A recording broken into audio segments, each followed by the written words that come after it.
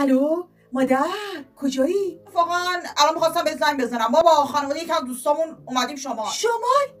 شما رفتید منو نبردید؟ ببین تو که عقلت به اینجور چیزا نمی‌رسه. ولی اون زن بی معرفتت نباید یه زنگ بزنه یه تعارف بکنه به من. من که نمیام. فقط برای تعارف میگم. خار روزگار خار. ببین چه جوری با مادر شوهرش داره برخورد می‌کنه.